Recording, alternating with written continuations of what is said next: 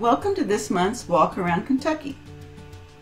Today we will be visiting the Sally Brown Crutcher Nature Preserves. These preserves are in the Palisade regions of the Kentucky River. The preserves are owned by the Nature Conservancy, a U.S. charitable environmental organization working to preserve plants, animals, and natural communities that represent the diversity of life on Earth. The preserves are open to the public and share a parking lot. They each feature a loop trail that provides views of the gorge. Directions to the preserves are head south on US 27 into Garrard County. Turn right on KY 1845. Keep on KY 1845 until it ends at the Camp Dick Fire Station. Turn left on Polly's Bend Road, then right on Highbridge Road. Go two miles then veer right onto the Bowman's Bottom Road. The preserves will be on the right in 1.6 miles. The preserves are open to the public all year from sunrise to sunset for low impact activities like hiking, photography, and bird watching. Some of the birds you might see are the turkey vulture, the yellow-bellied sapsucker, the red-bellied woodpecker, the Carolina chickadee, the tufted titmouse, the golden crowned kinglet, the Carolina wren, the northern cardinal, the yellow rumped warbler, the eastern bluebird, or the American robin. Conserving lands such as these in the nature preserve is key to keeping birds like the eastern bluebird from becoming extinct. Interestingly, the bluebird is a secondary cavity nester. This means that it nests in cavities but is not strong enough to peck out its own holes and then is therefore dependent on woodpeckers and other natural cavity creators. There was a major decline in the bluebird population, and the bluebird went from being as common as the robin to being so rare that birders were sure of its inevitable extinction. There were many reasons for the decline, including loss of habitat, pesticide use, weather changes, removing dead trees, and an influx of house cats. However, one of the main reasons for the decline was the introduction of the house sparrow and the European starling into America. Both cavity nesters, both extremely competitive and aggressive. Scientists and birders were so concerned about the drastic decline in the bluebird population that they optimized bluebird boxes and set up a network of trails in which to put up boxes and monitor the number and the health of the population. As a result, the bluebird population is rebounding and hopefully escaping extinction.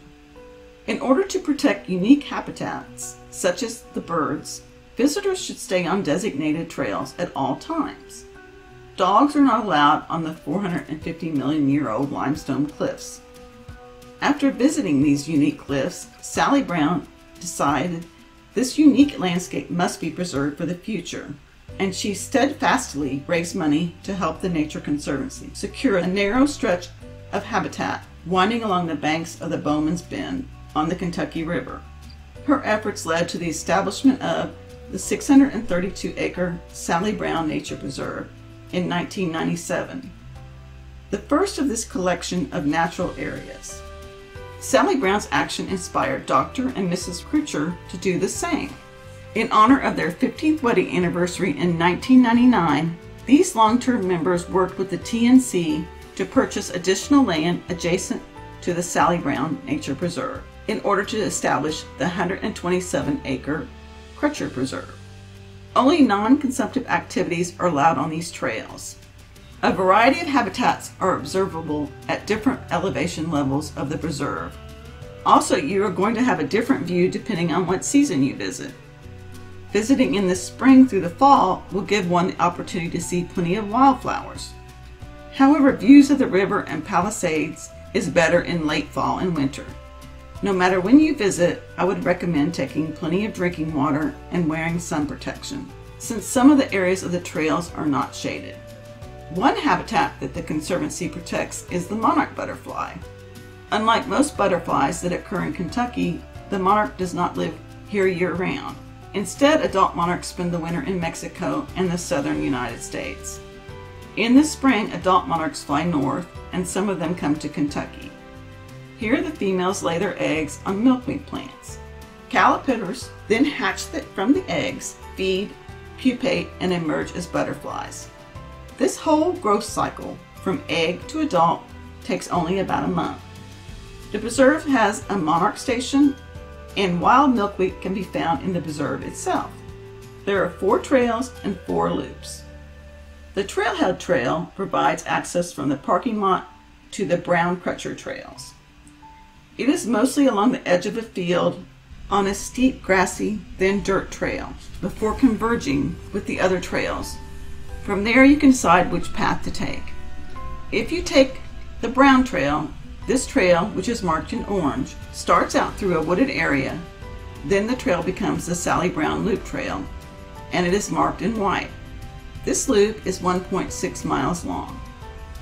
A loop in the middle portion of the trail gives you the option of staying along the cliff line towards the creek and the river, or you can choose to stay closer to the edge of the fields. If you stay near the fields, you may come across a herd of white-tailed deer. We saw a small herd on our winter visit. Where the two trails meet on the other side, the trail follows an old roadbed down to the river. So there is a big elevation change, but only a moderate grade. Another trail option is the Crutcher Trail.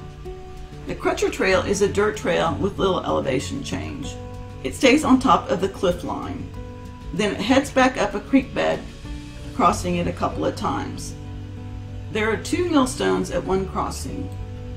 The trail curves back around in a loop near fields. The third trail that is marked in pink is the Far Hill Trail. It starts as a dirt trail through a wooded section that crosses three springs.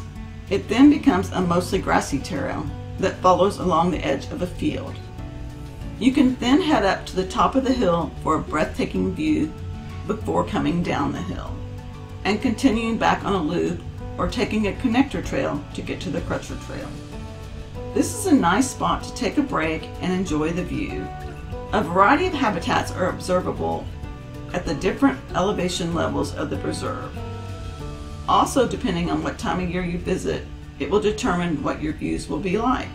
A spring visit through the fall is very good for wildflower spotting, and a winter visit is better for the view of the river and the Palisades. The Brown Crutcher Nature Preserve boasts some of the bluegrass region's most unusual habitats. The limestone cliffs and stony riverbanks create an extraordinary biological and geographical environment that attracts many rare and endangered plants and animals, including large concentrations of Kentucky viburnum and purple melic grass. The nature preserve and the broader Palisade area also harbors at least 25 mammal species and 35 reptile species. Two endangered bat species, the gray bat and the Indiana bat, utilize large unfragmented forested corridors as a source of insects. Indiana bats hibernate in tight clusters along the ceiling and sides of caves and mines.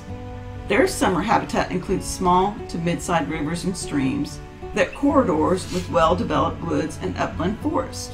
Blue ash, oak trees, and sugar maples can be found on the steep limestone slopes, along with less common trees like the rock elm, the yellowwood, and the yellow buckeye.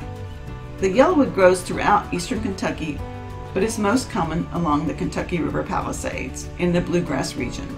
So this is a good place to find them more acidic soils on the bluff top ridges harbor peach, tulip poplar, and oak, hickory forest types, more common in the Appalachian of Kentucky. Wildflowers are also abundant in the Palisades region, including Virginia bluebells, blue-eyed marys, fringe phacelia, and trilliums. See if you can spot Virginia bluebells, a bluebird, a monarch butterfly, a yellowwood tree, an Indiana bat, when you visit the nature preserves or in your own backyard. I hope you enjoyed this month's episode of Walk Around Kentucky and will join us next time.